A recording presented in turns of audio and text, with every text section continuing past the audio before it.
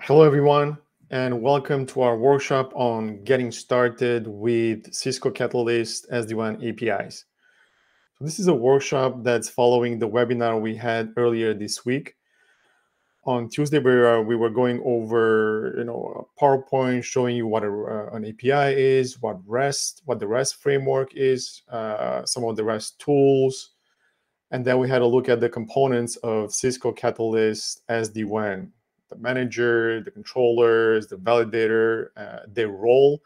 And then uh, we were saying that the uh, Cisco Catalyst SD-WAN manager also has a REST API interface. I showed you a bit the API docs, the uh, self-documented Swagger interface that comes with it, with all the endpoints that are available with the, with the manager server.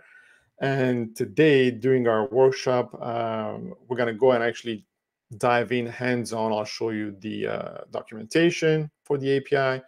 I'll show you the developer tools. I'll show you the sandboxes that we have. And then I'll also show you Postman and how to use Postman to kind of build your own uh, API calls and how to get data from a REST API interface. So all of that today, it's a packed session. But first, let me quickly introduce myself. My name is Adrian Iliesiu. I'm a developer advocate with Cisco Developer Relations, where I cover enterprise networking products such as Cisco Catalyst SD-WAN, Cisco Meraki, Cisco DNA Center, and then Cisco IOS XE. So if you have any questions, developer related about any of these products, I'm your person. Feel free to contact me. Uh, I'm on Twitter at AI DevNet. I'm on LinkedIn if you search my name, you can find me there. Uh, drop me a message. More than happy to help in, in any way that I can. All of you to get started, or if you're already started and you had more advanced questions about something not working, an API that's not there for any of these products, let me know. I can either get it fixed for you, or I can go and, um, and get somebody that will. All right. So um, having said that, let's get started. So first of all, I wanted to show you the developer.cisco.com slash SD-WAN. This is what we call our dev center for, uh, for SD-WAN. And here you can find links to pretty much all the resources we have available for you from a developer perspective. So we have the documentation link we'll see in a bit. We have link to sandboxes, and we also have a series of videos that I've done on how to get started with uh, programming an SD-WAN fabric, uh, how to attach templates, how to get a list of devices uh, with the API, and all of that can be found in the uh, also in the videos over there. And they're on YouTube. You can view them. They've been there for a while. Um, they might need an update. We'll see how, how that goes. All right. So if you scroll down here, right? You have a link to the Learning Labs, intro to uh, SD-WAN REST APIs, how to get started with Postman. So pretty much everything I'm going to show you today, you can watch the recording of this and follow it along after. Or if you want to follow uh, today as we go through all this content, you're more than welcome to the point is also if you have any questions while we do this live you can drop them in the q&a panel uh, and i'll address them as we uh, advance through this workshop. So please take advantage of this. Uh, all you only need internet connection a web browser and uh, postman. So if you haven't installed postman yet go to uh, getpostman.com make sure you install it. You have a version running uh, on your own local machine if you want to follow along the workshop today.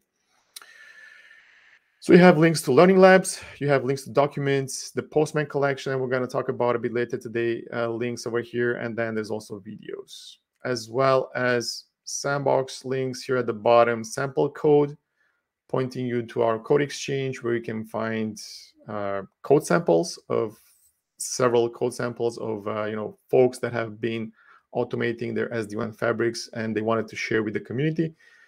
So these are mostly GitHub hosted repos of sample code that folks have developed over the years. And we also have a list of SD-WAN partners. If you want to see in our ecosystem exchange uh, what our partners uh, have been working on around SD-WAN fabrics. Um, all right, so let's jump and go into uh, the docs page. So the docs is going to be one of the most important uh, websites here for you as you start exploring programming with uh, with SD-WAN um, fabric, because it gives you a link of uh, to all the API endpoints and explanation. You also have a quick introduction here, how the fabric looks, what the components are. We've seen this also on Tuesday. Um, and then, you know, how to authenticate. What is the endpoint for you to authenticate? You see here vManage IP address and then JSecurity check. We'll see this in Postman also. Then the content type, right? This will be a header that specifies what type of information you are sending for authentication purposes. And then you have the HTTP body, which is basically just the J username and J password would be the credentials that you log into that uh, manager instance. So you get a, a um, session ID. If the authentication was successful, you get a session ID that after that you can use uh, in all your subsequent calls uh, as you make them and interact with the, with the, manager. So you have kind of like this cookie-based session ID that you can use for performing subsequent API calls. Also, we'll see, we'll create our own uh, new header. We'll call it XXSRF token. So this is a um, an extra security that has been added after version 19.2, right, of the um, manager. So you also need a token as part of your interaction with the API. So I'll show you how to actually add one more header in Postman and how to actually save that token uh, and reuse it in your calls. So that's you know how to authenticate. There's a, a class authentication here, a uh, Python code snippet for you if you want to get this and start using it right away. You can. So this is authentication. Uh, we have here how to authenticate in SSO enabled uh, manager. Uh, so we'll have a look, like I said, at this XSRF token. Then you have a quick start right? Uh, explaining you the base URI, basically the vManage server, and then slash data service would be your starting point for, for everything API related uh, with Cisco SD-WAN Manager. And you, you see here that the API organized in six main categories. You have administrative and management APIs. So this is where you would uh, create users, groups, you know, you would manage your tenants, software maintenance, backup and restore, container management would be performed with these API calls. Then you have alarm and events APIs, which includes alarms, event notifications, rather than configuration. So this is where you would perform configuration tasks with the APIs in this grouping. So includes features feature templates, device templates, how to create them, how to apply them, how to update them. You'll create device policies, device certificate, certificate management, uh, device actions, device inventory, so on and so forth. Pretty much everything configuration related. Uh, and all the API endpoints that come with that would be under this grouping. Then you also have device real-time monitoring. So this would be real-time monitoring of devices, links, applications, systems, everything real-time monitoring would be in this grouping. Device states, statistics, bulk APIs. So this includes device states, aggregated statistics, and bulk queries. You can perform um, uh, multiple queries at a time. And then troubleshooting and utility as the last grouping. So um, the API follows the um, Swagger 3.0 uh, spec definition. So we'll see here as you go into the API reference, you see the API endpoints and also very important, the change logs, right? So we have the latest version is 20.11. that we have, you have also for historical purposes older versions available here for you. So you have 20.10, 20.9, 6, and then 20.4. Um, so if you go and you click on the change log, you would see what endpoints have been added, removed, what endpoints have been deprecated as part of this release. So very important to keep track of you know what has changed from one version to the next, so that if you've, if you've developed um, your application on your code on let's say 20.10 and you want to upgrade to 20.11, you would want to check the change log and make sure that you know the endpoints that you are using are still there, or if they've been uh, modified in any way, then you are aware of those modifications. So you see here, these are the endpoints that have been added in this version. Lots of lots of endpoints. There's some that have been removed, right? Some multi-cloud, and then there's some endpoints that have been deprecated and then also changed. So um, very important information here for you to keep track of. And then to see the actual all the endpoints that are available with the version 20.11 in this example, just click on it and you'll see here we have all the endpoints. So as we were saying, the slash data service would be your starting point, kind of the top of the um, of that hierarchical structure for the API. And then we have all the API endpoints following that data service slash would be access token. And then these are parameters that you need to pass in, right? So region-based URI and client ID. As you see these curly braces, these are parameters that you need to pass in uh, into your API call. So we have monitoring, we have administration. You see here some of these um, APIs have been uh, retired or deprecated right? So they're they're pretty much gone, but we have new ones. So if you want to get the admin users, right, would be uh, data service slash admin slash user. If you click on all any of these calls, you actually are able to see. So it's get all users. Doesn't require any parameters. And you have the option of seeing here right? Uh, this call is, is very simple. There is just a get call uh, to get a list of all the users. But then if you want to create a new user, you would use this post call. This would basically create a user. Uh, there's no parameters that you need to pass in, but there is a body that you need to pass in, right? With what type of username uh, and password uh, you want to create. So the body would look like this. So uh, what type, of, in what group you want to place that user, a description, a username, a password, a locale, and then also the group name specified like so. So you can see also a schema for this. And then you get responses 200, right, would be uh, success or 201 user created, 400 by request forbidden, and 500 would be as we were talking on Wednesday, uh, on Tuesday, sorry, would be those uh, server side errors in the 500. So you know the uh, there's something wrong with your manager server. So that's how you create a user, right? You would um, do a post call to data service slash admin slash user with this body. You would send it, and that user with that credential would be created for you.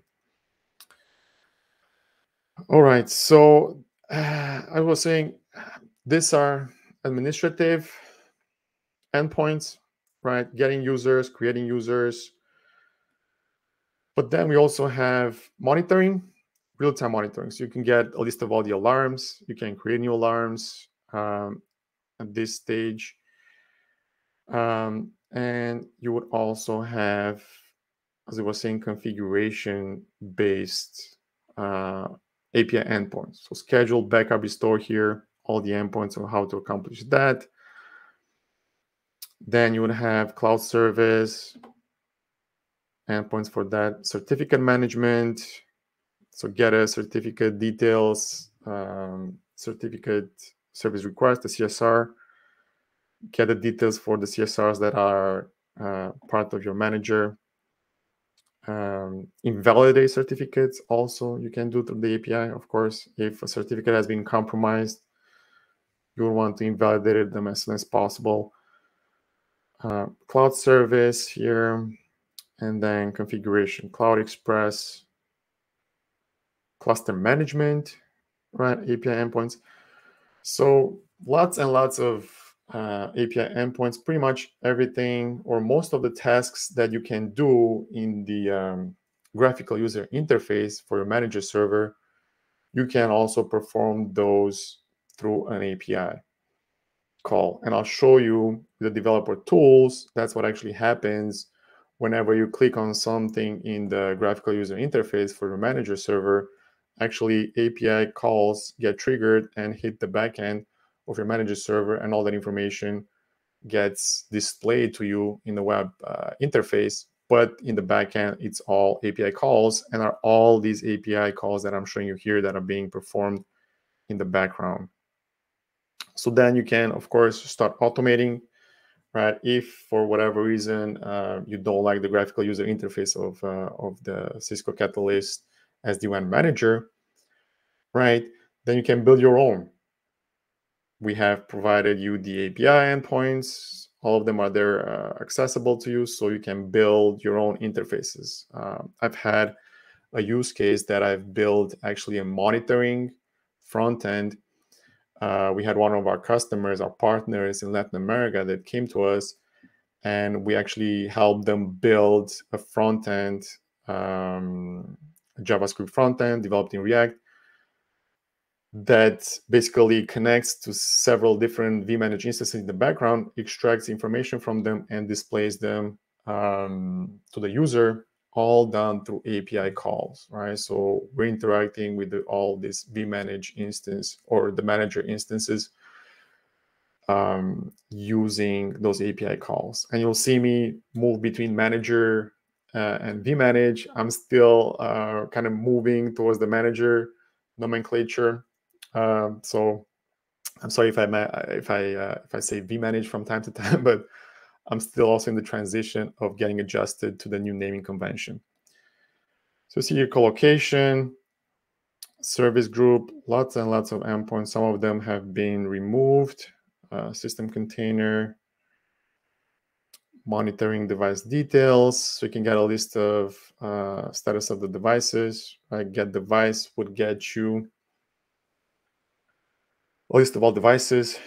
Uh, you have a, an optional parameter here, site ID, if you want to extract information about devices from uh, only one specific site, then you would specify it as part of your API call with this optional parameter.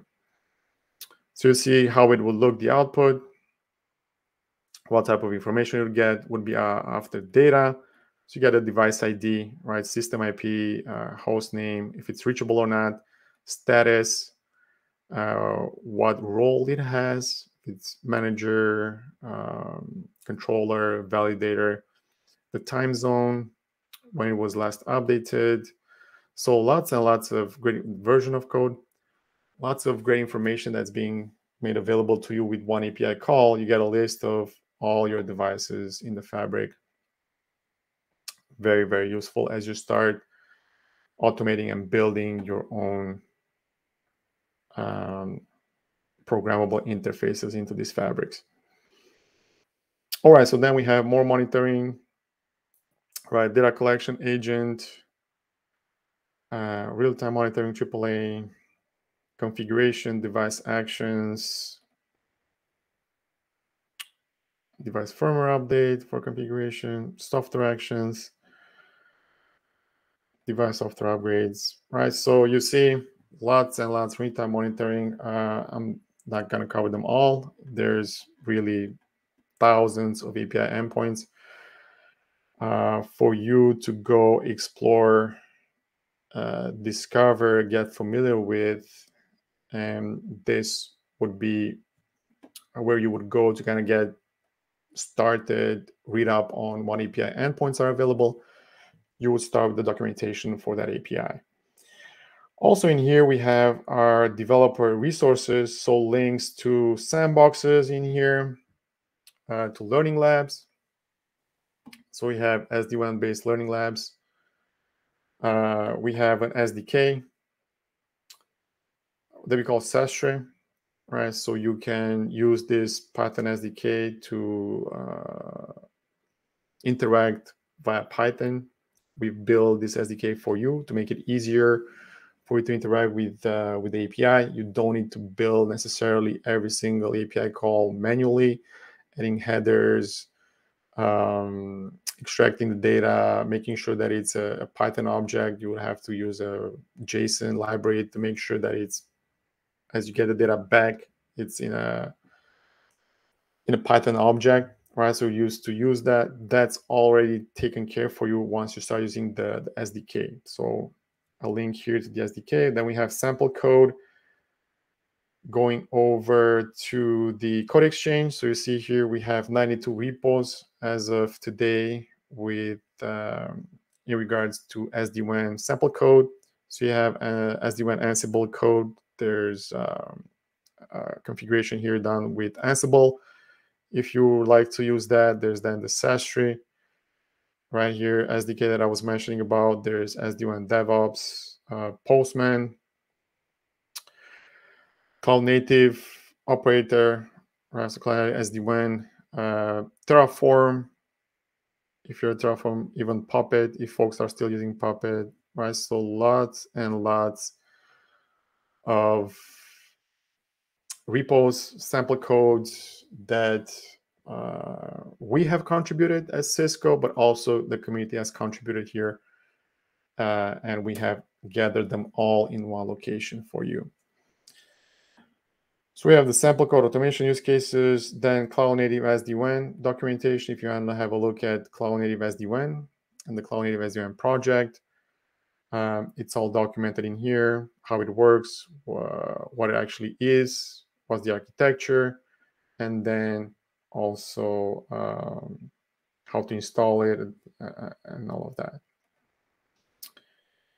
You also have links to ThousandEyes documentation, and then community and support. This is where you would reach out to us for support if you have any questions, support related. Um, we have a community set up on communities.cisco.com for SD-WAN.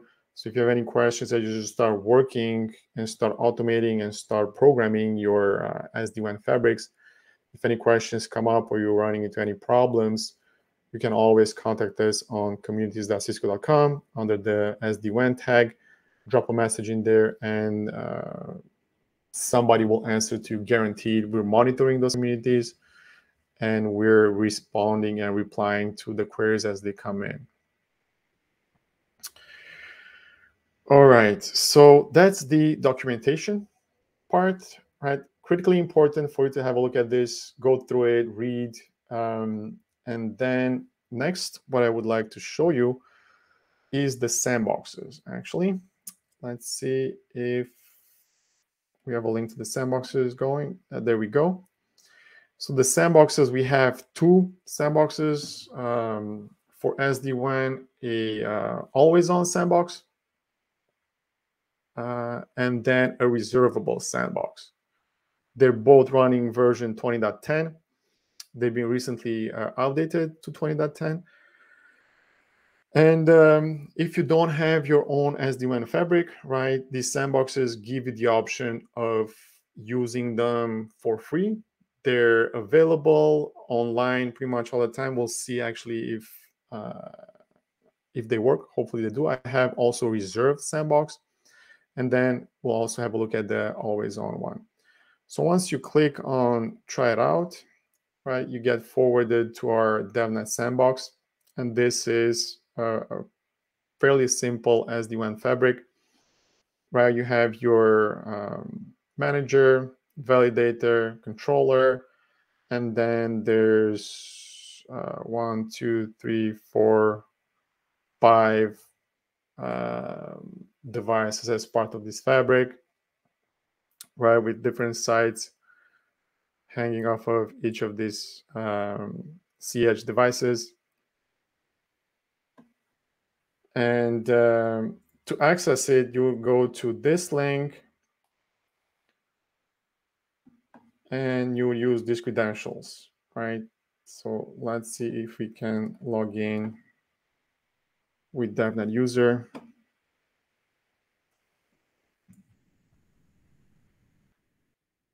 Continue, password.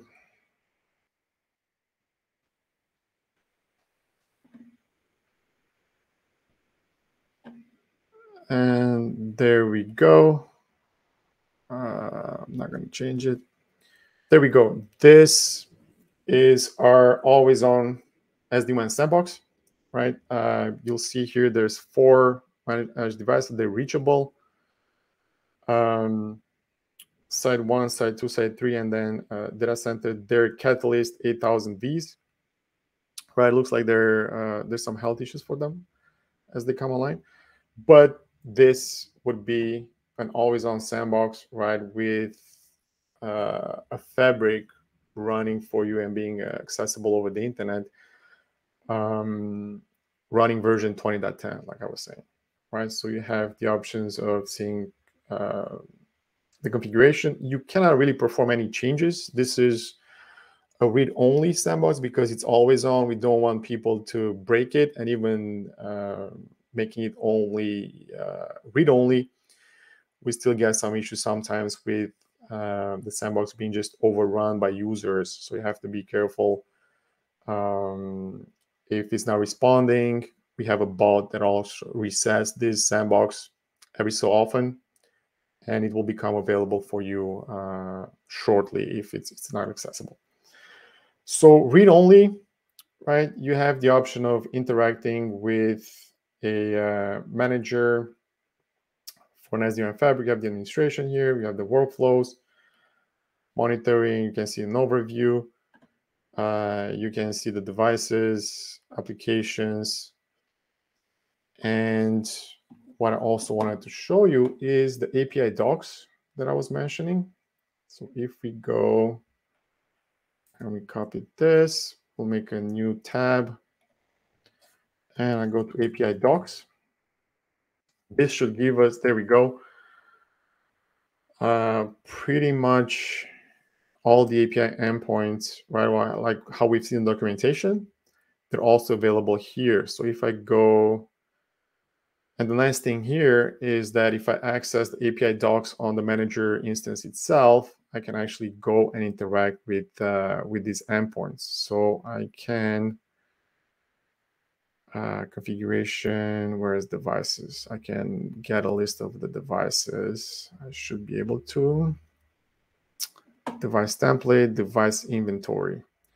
So I'm gonna do a get bootstrap post system IP. Let's see where we have an endpoint, then we can actually try vEdge status. Let's see if we can try this, right? So you see the option here, we have try it out.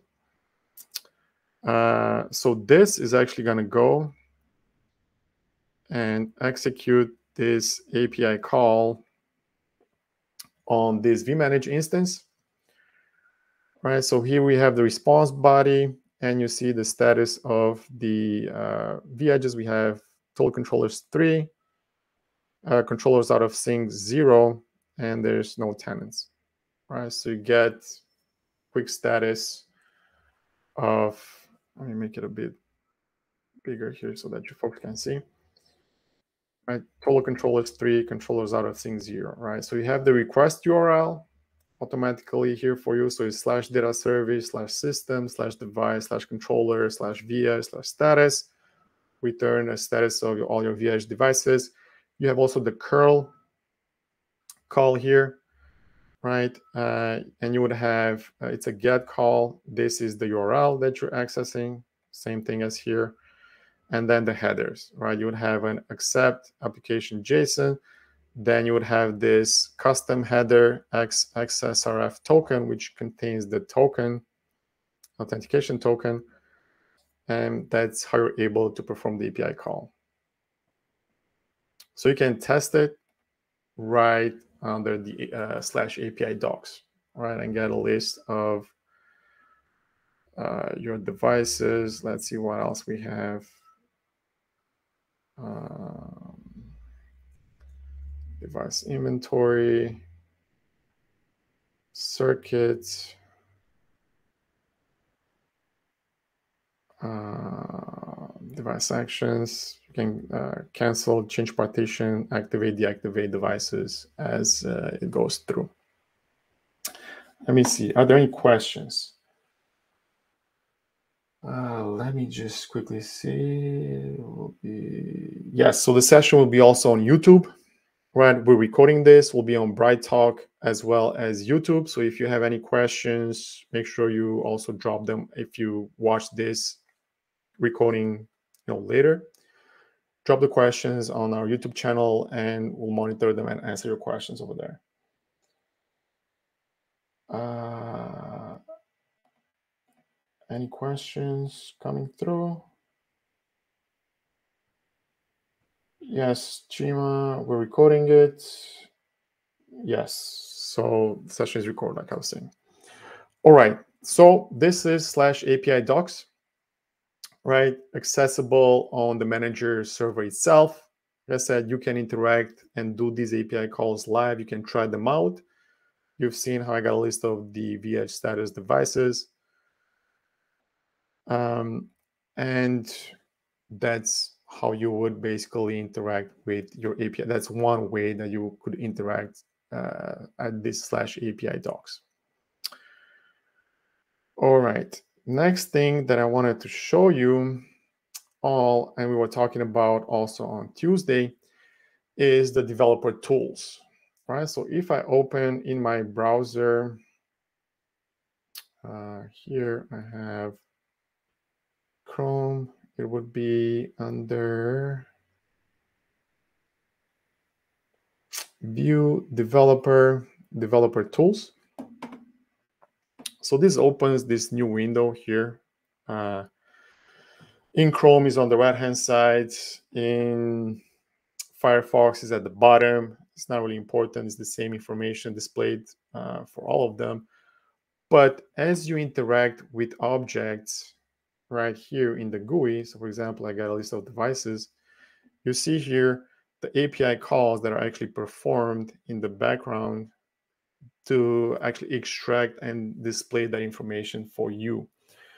So we should have here a summary count of devices right here. So this would be the endpoint data service slash health slash devices. And we're passing in, like I was saying on Tuesday, also with the question mark, right? We see page size of 12,000. So that would be return only the first 12,000 devices. We only have uh, a handful here, but that's how you would filter your output. And then in the response, you actually see the exact same information that we have here on the left hand side, right? You'll see it right here. So we have our first total devices, we have 43. If I scroll down, we see here 43, right? So it's the exact same devices that you see here. The vEdge Cloud would be UUID with this UID, right? It's a vEdge Cloud device. Um, serial number, VPN ID, so on and so forth. Right? So as you interact with the graphical user interface, you see here automatically shows all the API endpoints, and then you're able to you know go and see the CPU response. Uh, right, good for the health this would be what headers are involved. So it's you see the request URL, you see that it's a get, you see the status code, we see the remote address, right? And then the headers, response headers here with content encoding, content type, we see application JSON, the date of today, uh, and then also the request headers. So response headers, request headers. You have here the method, the path, it's for you right here, the accept application JSON, right? So that would tell the manager, hey, I'm sending you JSON data, or I'm uh, I'm expecting also with um, with the accept header, you actually tell it, I'm uh, accepting JSON formatted data. So please send the response in JSON format. You see the cookie, right? So this is the J session ID. We'll have a look at it uh, in Postman also. And then you see also the XSRF token right here at the bottom. And you see events, right, as it gets updated and refreshed, you see the response uh, for all these API calls that are happening in the background. Uh, all right, let's see. Any questions? Using is it free to build a lab? Yes. So the everything on developer.cisco.com is free, right? The sandboxes, documentation, the learning labs, the code samples, everything is available to you for free. All you need is in a is a free account. You log in and you have access to uh, to all of these resources. So good question, Hussein. And then Albert, how did you get the API section of the manager? So Albert, going back, right, you just have the um, the host name or the IP address of your uh, manager. In this case, is sandbox-sdwan-2.cisco.com.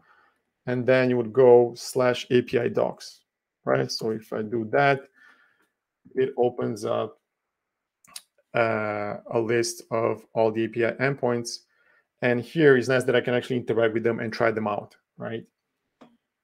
So hope that answers the question. What else we have? Uh, any other questions, comments?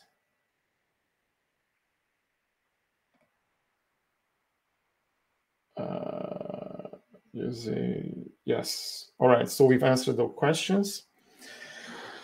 Um, I showed you the developer tools right? So this is how it looks as you perform tunnels. You want to see the tunnels, you'll actually uh, see here, monitor SD-WAN tunnels. It would be this, the response, uh, and these are how many we have in here. We have 48, and we'll see here all 48 tunnels, right? This is how they're actually returned and the GUI, the graphical user interface from here is just displaying them to you in a web interface format. But the data, how it looks in the back, uh, in the back end, in the background is exactly here. Right, very useful as you start exploring um, and as you perform, you know, your usual workflow in the graphical user interface, you click on configuration, you go there, so you can keep a track and save all these calls, right? And then go and build your code and start automating. So I'm following a specific number of steps to perform my workflow, right? Configuration of your device template, and I'm applying it here. So all the steps you go through in the GUI, you can record them. You can see all the API endpoints that you are hitting with each of those calls each of those clicks, right? Each of those refresh pages. You can record them and then you can automate them, right? And there's several different ways that you can automate them. There's, you know, you can build a Python script to to automate and to perform all those calls for you automatically, or you can use something like Postman that we're gonna look, have a look at, uh, at next.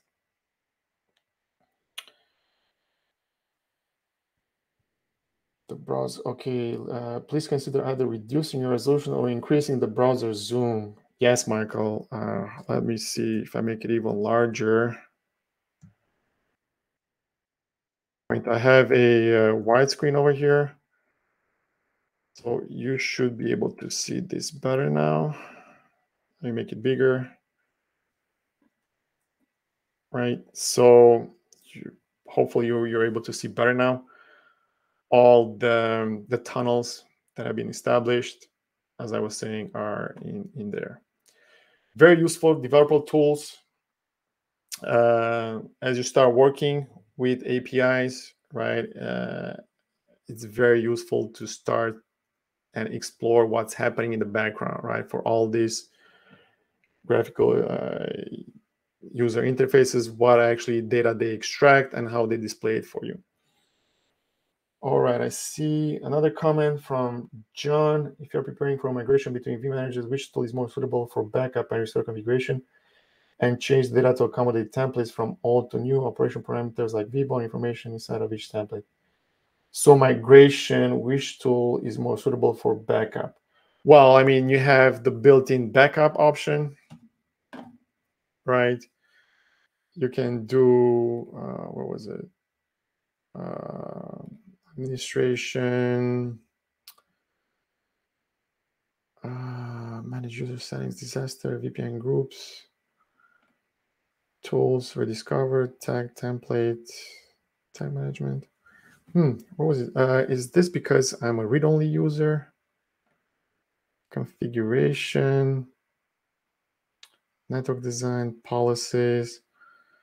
So you could get a complete backup, John, right, of all the options as pretty much a JSON output. Um, but I'm pretty sure. Let me open the always on, uh, sorry, the reservable sandbox. 10, 10, 29. Let's see if it works. So this is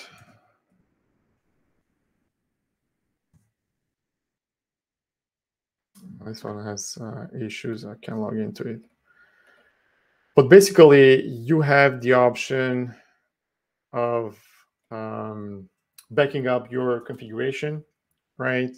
All your configuration of the vManage and just import it in your new manage instance.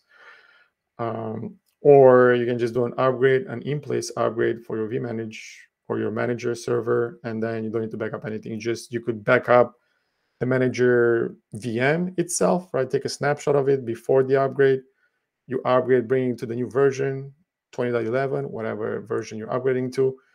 And then you know you don't need to back up your config. You already have a snapshot of your manager. In case something happens you can just quickly revert back.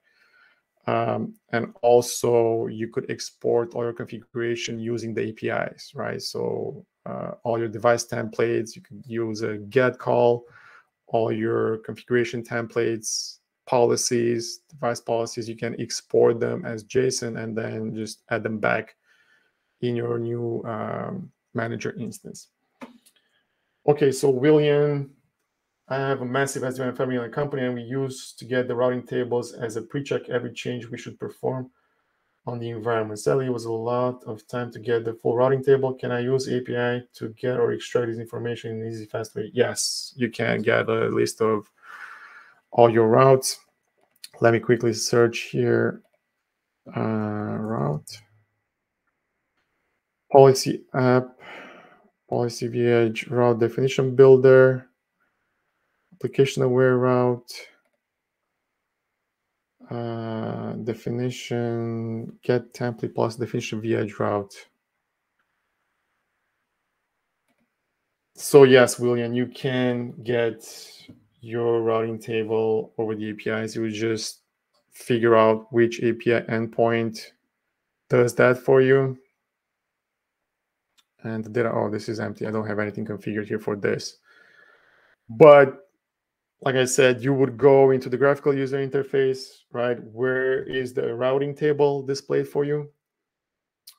Right, whatever there is in the configuration, uh, right? You select network design, and you see here on the left-hand side um, the API call that that is pertaining to the IP route, the show IP route, uh, command, you would see it in uh, developer tools.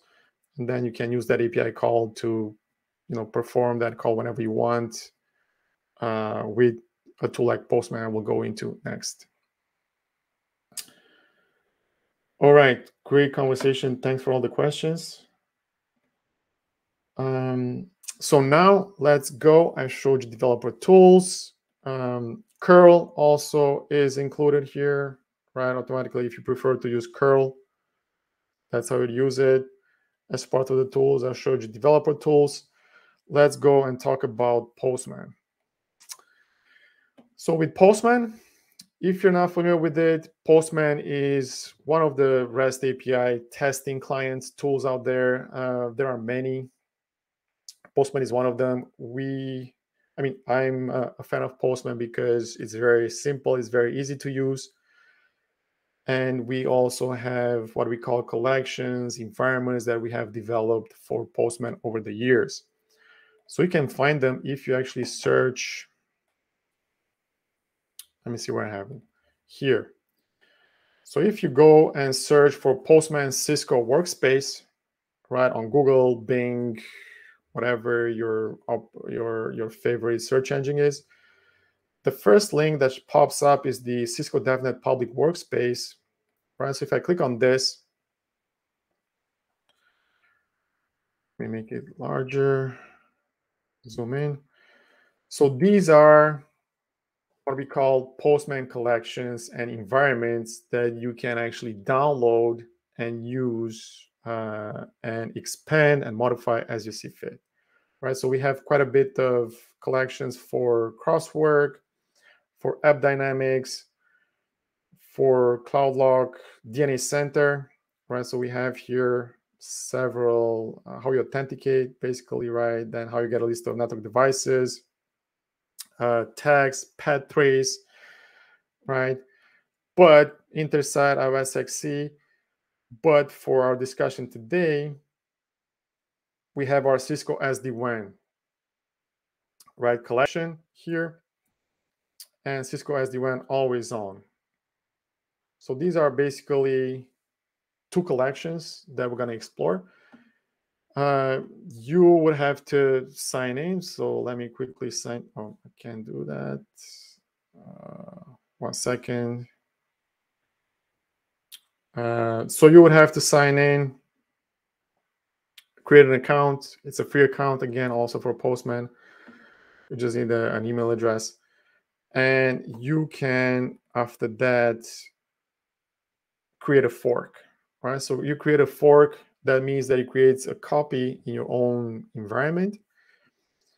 And I have a fork created for Cisco SD-WAN right here. Right, so uh, I see it's Ace fork. I'm logged in. Uh, I'm logged in into my Postman account. I've created a fork for that Cisco SD-WAN workspace and also for the environment. So a collection in Postman is just a grouping of several different API calls, right? So you see here, I have a call for authentication. I have one for getting the token. And then I have get calls for uh, getting a list of the fabric devices, device status, device templates, device policy, so on and so forth. These are all get calls here. Uh, you can create your own, right? And Actually, we will create our own next. So this is the collection, right? With several different API calls already created for you, predefined. And then we have what we call an environment. So if I click on this, the environment, it opens up uh, my environment. And this is basically a way of passing in variables into your calls, into your collections right? So I see here I have uh, five variables. I have a vmanage variable with this value. So this is the um, manager server that I'm connecting to. J username would be uh, the this is the username. The J password is the password, and then the port, and then I have access token. Right. So I have five variables and how I'm actually able to use them using the double curly braces, right, as part of your call. You see here, uh, this will automatically get propagated with the, the values that you've defined in your environments. You can also see them here for a quick view. You can edit them. So if I want to change and point into a different vManage instance with different credentials, then I would just edit these entries right? I would change it to a different instance of manager with with uh, the credentials that come with that, and I'm able to perform all my API calls in the collection automatically because I don't need to replace them in every single call. I have variables defined and they will get automatically replaced with what I've defined in my environment. So you see here, if I just uh, hover over these variables, you see is uh, the value, the port, and then the username and password here, right? So it is we see it's a post call. You can get get post. These are the methods that we were talking about on Tuesday. So we have a post call because we are creating um, a new token, right? And the session ID on the vManage server, passing these credentials, we go and we actually create a new session ID and then a new token uh, for our session. So it's a post call uh, the endpoint for authenticating is slash j underscore security underscore check. So how would you know this? Documentation, as I've showed you earlier, this endpoint was specific uh, was specified over there. Okay, so I have this is the URL, right? It's a post call. I have the method here. Then I have parameters here, the option of specifying any parameters with the question mark, right? That we're telling you about if you want a page size, if you want to filter output, so you would specify the parameters here. Then authorization, um, if what type of authorization it is, right? It's a no auth, API key, bearer token, basic auth, OAuth, one, two, AWS signature, so on and so forth. Several different uh, authorization and authentication methods are supported out of the box with Postman. Then you have the headers, right? What type of headers we have here. So it's just content type, make sure that you have application slash xw form uh, URL encoded. Um, and also content type here. Oh, I have it twice. That's fine. And then the body would be that j underscore username and j underscore password. Right. That's how we pass in the username and password uh, for our manager server. So now uh, I'm kind of ready to press send here.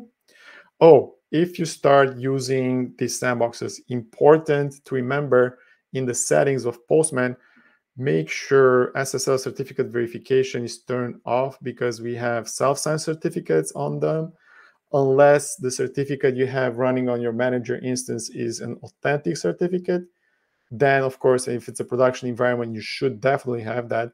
Then you would have this SSL certificate verification on. But if it's just a lab environment, you can switch it off um, and not check the authenticity of your SSL certificate for that manager instance. So that's something to keep in mind if you want to follow along exactly what I'm doing here. Uh, all right, so then I'm ready to do a to click on send. This will send the request. Uh, there we go. We had a 200 status okay, right? So the output is empty, but a cookie has been saved, so I can actually look at the cookies. And I see here I have a J session ID, right? Uh, that has been created. The nice thing with Postman is that it saves that J session ID cookie and if I go and I perform the next call, which is the get token call, uh, would be the J session ID is automatically saved, right? I can see it here under cookies, right? You can uh, remove it at any point and do again an authentication or just reuse the one that you have already created previously. So to get that um, XSRF token, right, you need to go under the same vmanage port data service. And then you have slash client slash token, right? So let's get that token. And we see here in the body, this is the token that is that comes with this JSession ID session. So now another thing that we're performing here is that we have under tests, you can write simple JavaScript or complicated JavaScript code that would actually, in this case, will take this text, will take the, uh, the token, and actually will set the access token environment parameters. So if I go and I look here, this access token, I see it has been automatically updated with A5BA02, uh, right? The whole access token has been updated. So the very nice thing with with Postman, like I said, is right here in the test. That's another option for you if you want to save a value from one of these calls and reuse it. And we we will reuse it as part of our site health, right? We have here a new header called x-xsrf-token. And we see here we're passing that access token that we get in the previous call, right? Very nifty, very nice of passing variables between all these calls. So if I go and I do a send on this call, it is, we see here a get call. We're going for that vmanage instance, same one, slash data service, statistics, site health, common, and then interval 30 minutes. You're able to see here the output uh, so site ID, site health is fair, device health is fair, right? Device health score is a 5.0, tunnels health score. So you see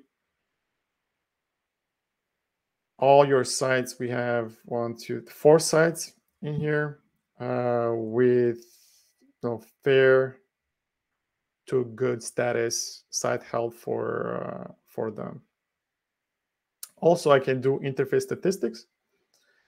So same thing, right? We have that XXRSRF token, access token passed in. Um, it is a get call. We're going for the same vmanage server, same port, but the endpoint is different now. It's statistics slash interface. And this will basically go and get statistics for all the interfaces in the fabric. Careful when you do this call in a large environment because even in a small environment with four devices, uh, you see it's going to take quite a bit of time. We have okay six six seconds. So you're able to go and check your interface statistics. Uh, so this is the device, vEdge Cloud, you have packets per second, transmit, total megabits per second, um, kilobits per second received, right? So EROX uh, would be kilobits per second received, as we see here is two on this interface. Uh, transmit octets, 1260, operational status, if it's up or down, if there's any errors, right? So you can check very easily, get do an API call, extract this information, parse it, and you can have a look at um, EROX errors. Okay, so I see a question here, Mike. Where do I set the variables again for the calls? So the variables, Mike, are in the environment. Right, so you see here, there's a drop down. I have them under environments. I have created a new one. Well, I have, once I've made the fork, of that uh, Cisco SD-WAN collection and environment, right? I made a fork of it. It got cloned locally on my machine so that I can modify it. So you have your environment, you have your variables defined here, right? You have your vmanage, and we have this access token that's going to get dynamically populated, right? Right here. So if I uh, delete this one, I can easily create one uh, a new authentication, and that's going to create a new access token, and this is going to be dynamically populated because we're using this piece of JavaScript code, right?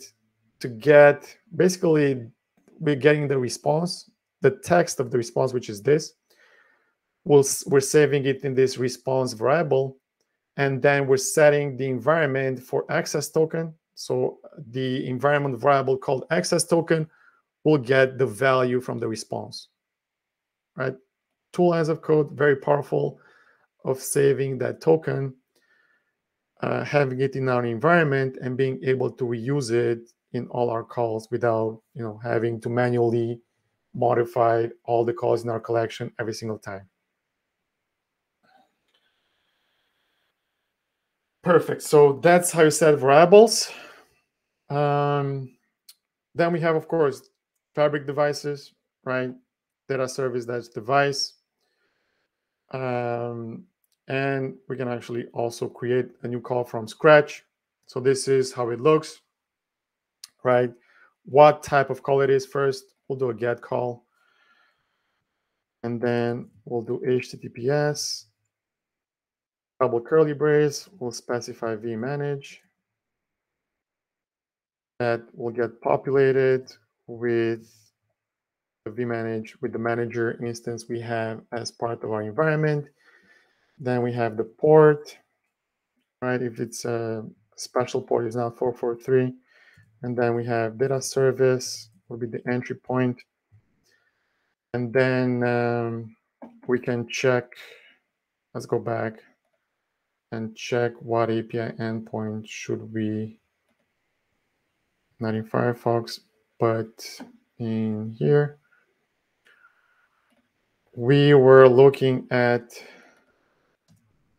configuration, that vEdge status device. Let's get that one. So get device inventory.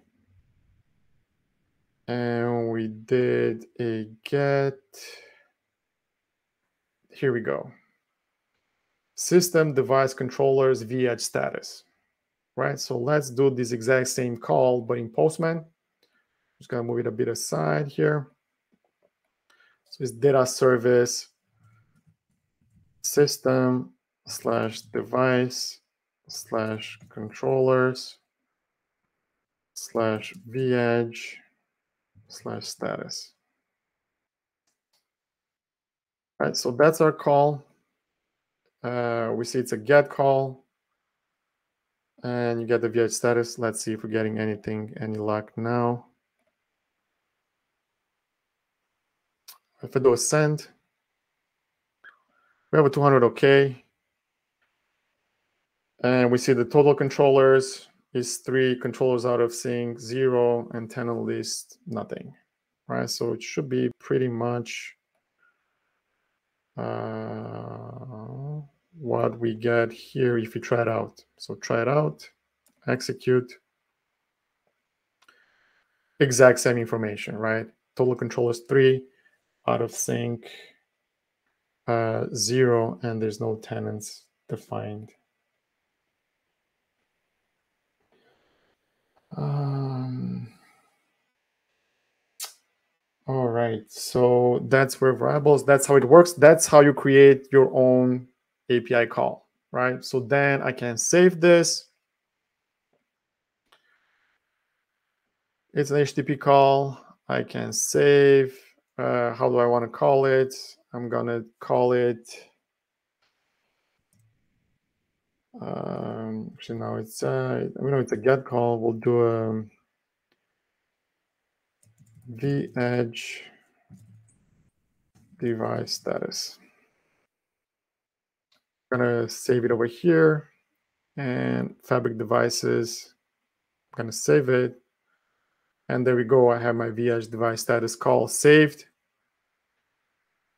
right? Headers, I also need to create that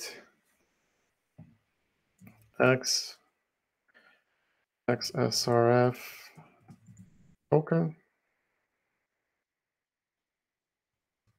And I'll do access token. And save it again. Right, so I specified the headers, added that token. I have this is my endpoint. It's a get call. And I can easily do a send. So now I was telling you about the cookies. If I invalidate this cookie, right, it's removed. I removed it and I try to do a send call. I will get a still 200 okay, but I see here it's HTML. So if you see HTML output at any point, you, you're requesting JSON data and you're seeing HTML uh, in the response with the manager in SD-WAN, you know that authentication, something's wrong. Uh, the call did not work, even if you got a 200 OK. So we see here username and password are user account is logged, password is expired. So it's basically not working. If I go back to site health, I try to do this call again. Same thing, I get HTML now. Fabric devices, try to do it, right? I'm not authenticated. I don't have any session ID, any cookies. So then I need to go back to authenticate. And once I authenticate, uh, oh, so we have actually a problem here now. Cisco vManage invalid user on password. Um, so there could be an uh, a problem with this always on sandbox. No problem. Let's give it a try with our always on or with a reservable sandbox, right? So if I want to point it to a different vManage server, I would simply go and edit this information. So the IP address for my reservable uh, manager server is 1010.2090. I have an admin user in there. The password is Cisco 12345 and the port is 443. That's fine. Uh, all right, so that's changed to a new vManage server. So if I go just checking 1010 2090, username and password is changed. So let's see if I can get, oh, there we go. So see how simple it is to point to a different vManage instance. And now I can go and get a token again, get a token. There we go, 84457. And if I check here, 84457 has automatically been updated for me. So now I can go and get a list of my fabric devices, but from a different manager instance, right? So I see the devices, where's the data? Here we go. So we start with vmanage is reachable, right? That's the IP address. So it's as easy as that as pointing it to a different environment, right? You change the uh, vmanage username and password, and you can perform all these calls towards a different manager instance. So I see here device status, vmanage status is normal, vsmart normal, vEdgeCloud normal, right? So they're all in a normal state.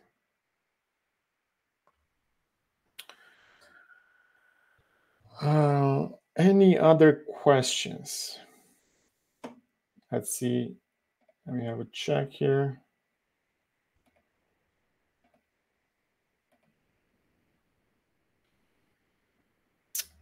All right, so then I showed you Postman, we showed you collections, how to make a fork, right? Search uh, for Postman Cisco workspaces. It's going to show you a list of all the collections. You can fork whichever one you want to work with. I forked here. I made a fork. I made a copy basically of the Cisco SD-WAN one and also the environment, right? So it's you see a history of all the calls also with Postman. Um, you can create your own collections. You've seen here, we've added one more call to my collection that I've saved. Uh, you can modify this. You can add post calls also. Um, William Machado here would be, you know, where you add that show IP route endpoint. You will go look for it and you would add it here and then you can at any point just go and click on you know authentication get a token uh, perform your call and it takes you you know a couple of seconds and and you're ready. Instead of having to log into the manager GUI right going through all the steps of configuration okay where is it uh, click next and all of that you have your api endpoint defined here you can go very quickly, perform the calls, and get the information you need uh, within seconds. All right, so since we have time here, um, I showed you Postman, collection, environments, variables. We've actually created dynamic variable, uh, dynamic variable here that we saved so that that token that we're getting. And then we're passing it as a header for all the other calls, right? So we, we pass this as a header, the access token called x dash x srf dash token, like I was telling you. So now another nice feature with, with Postman is that it can generate code for you, right? So let's see, where is the code option right here? So for each individual call that you create, Postman can generate code, well, uh, curl in this case. And if you click on this drop-down box here, you can see a list of different programming languages that Postman supports out of the box. All right, so we could have Python requests, for example. So this would be the exact Python code, well, except the verify false here. um, but the Python code, right, to perform this API call, but in Python. So let's give it a try. Let me open Visual Studio Code. We'll open um, window.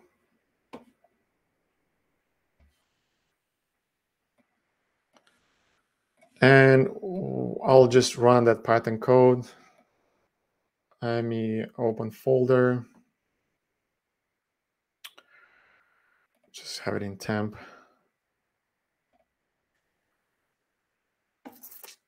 And then I'll create in here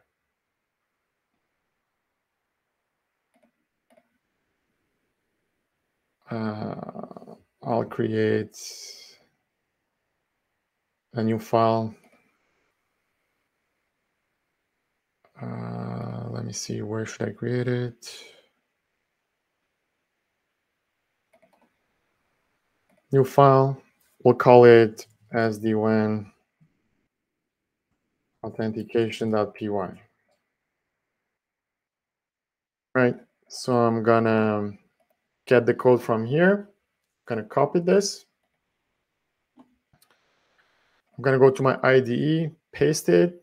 All right, so I have my URL, the payload, that admin Cisco1234, um,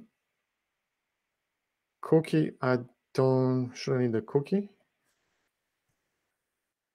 And then I'm using the request library, and request library is popular Python library for performing interact performing uh, HTTP requests. So it's very handy working with uh, REST APIs. I was telling also on Tuesday. So we're just gonna do a, a verify false here. Verify false is basically that toggle that I was showing you in Postman, not to check the authenticity of the SSL certificate that's on this vManage instance, on this manager instance, uh, because it's a self-signed certificate. We know it's not an actual valid certificate. Okay, so let me save that and then quickly sort my virtual environment. I write it in there. I should have requests already installed. Me make it larger so folks can see. So I'm doing here then a Python SD-WAN authentication. And then prints response.text. I'm not getting anything, but actually let's make it interactive.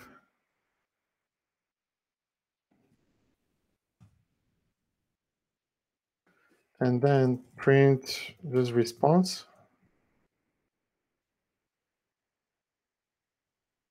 Response 200, okay, so we know we have the status, response dot text doesn't have anything. Response, um, we have a cookie? There's no attribute. Okay, so let's do quickly.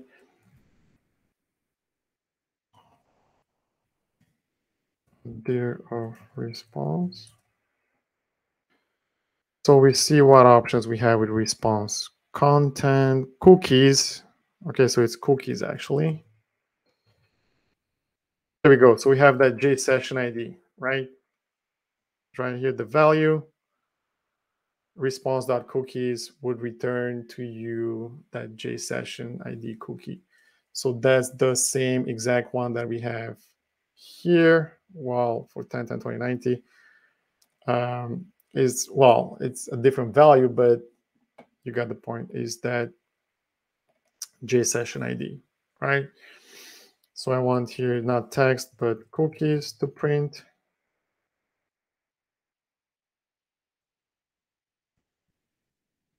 So if I run my script again now, it's going to print out the request cookie, right? I have. So then you can start building on top of this, right? Get the token. What is the Python code to get the token? Would be you passing the cookie that you've got from the previous uh, call. Then you get a new URL and then you would be able to get that token. And same thing as we go to Fabric devices, we have the code for, it's very similar, right? It's just the URL is different. We get data service slash device. Uh, and for this call, there's just the difference is in the what endpoint you're getting the information from. Okay, Tamas, what would I write instead of false for the verified uh, certificate I want SSL? True. Tamas, great question. You would write true. So if I go back to my code, right, and I I want to verify the authenticity of my certificate, and if I run it, my script now like that,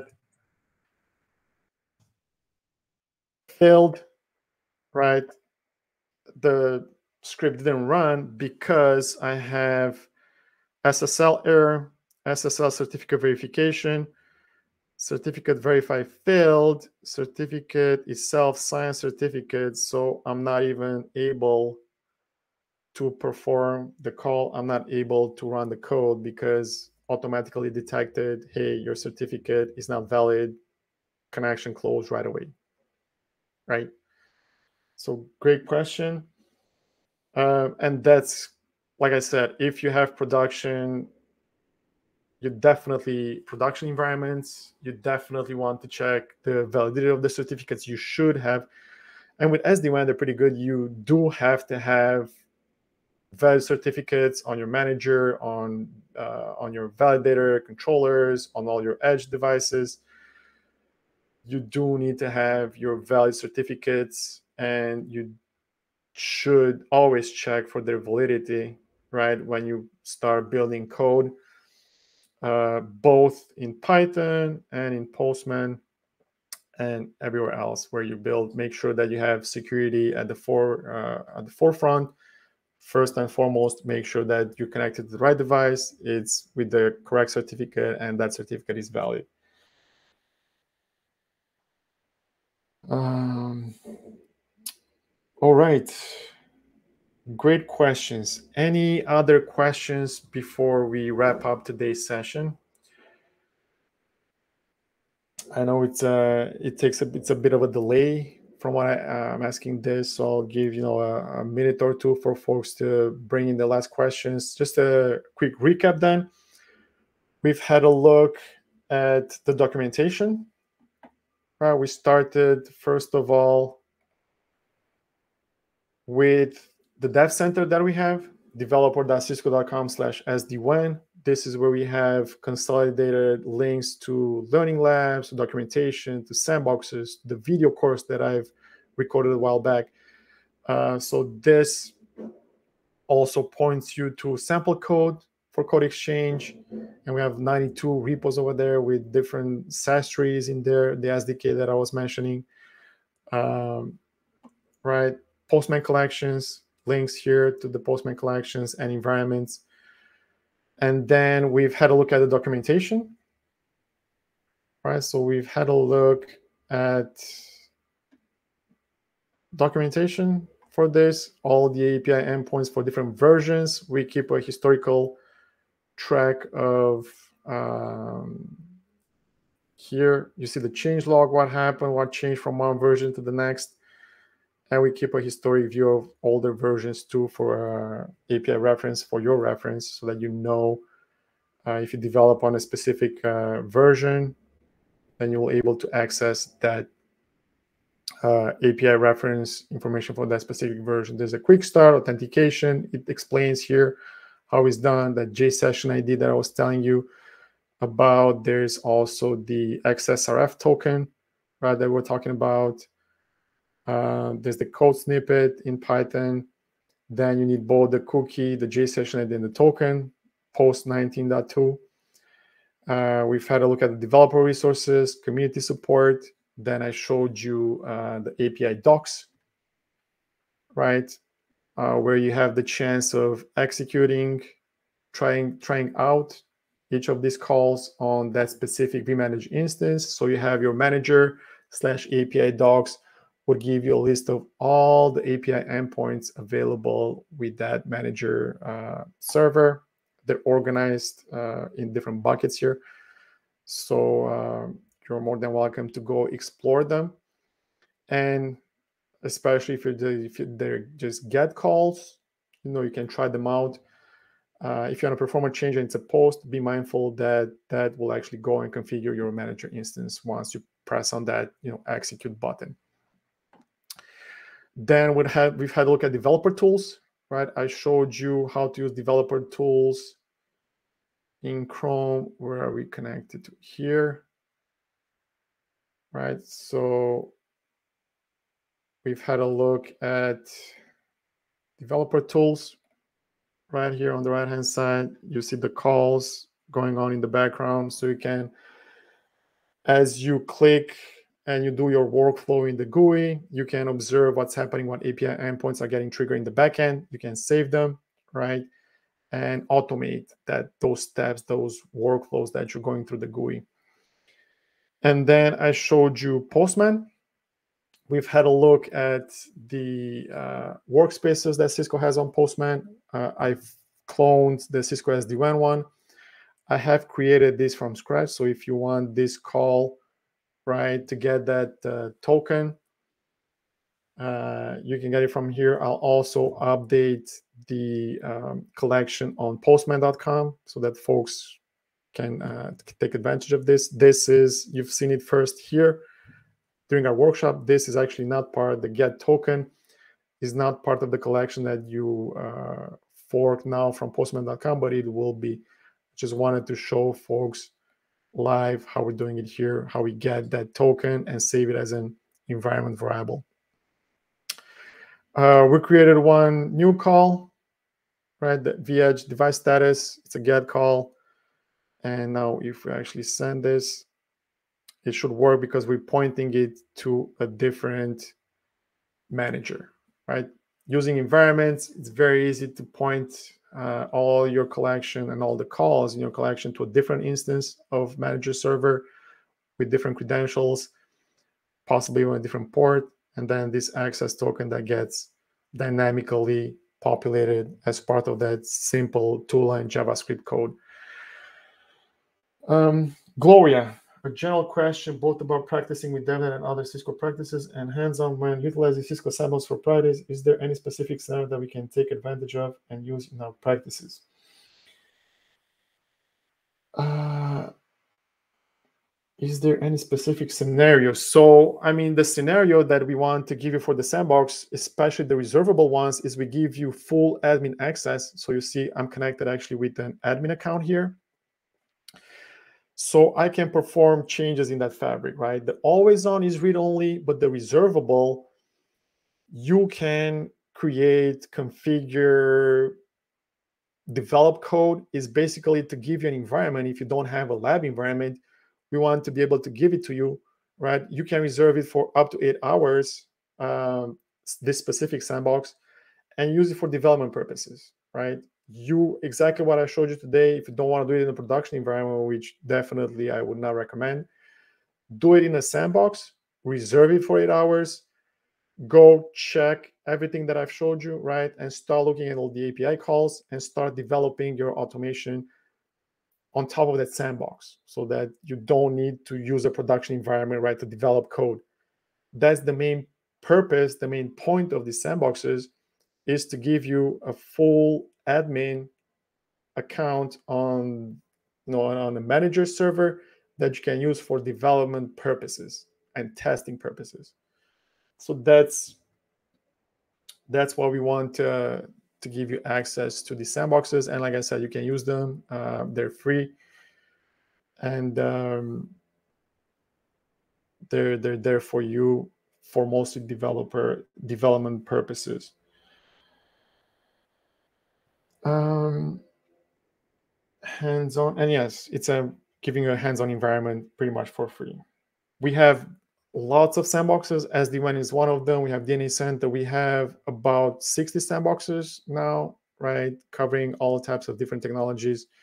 Uh, we have even ACI fabrics in there. So if you don't have your own ACI fabric, you can use the sandbox. Uh, all right, so keep in mind this week, right, the um, the webinar we had on Tuesday and the workshop we had today on Thursday, they are part of the uh, SD-WAN Automation Awareness Month. So we will have sessions, workshop on Thursday, and also the following week. All of June will be SD-WAN Automation Awareness Month. So please, if you haven't registered for the other sessions, please do so. My colleagues will go and will show you day zero, day one, day two uh, automation, workflows. Well, they'll talk about Sastre. I just briefly mentioned it. The last week of June, they'll go over and cover Sastre and how to use the SDK for automation purposes, right? So if you haven't done so, like I said, please go ahead and register. I hope you found this session useful. Uh, like I said, it's recorded. If you have any questions, drop us a message in the on the YouTube channel. I'm following the comments over there and I'll reply if you have any questions uh, pertaining to what we've discussed today. Um, any other comments? Let me quickly see if there's anything else. Uh,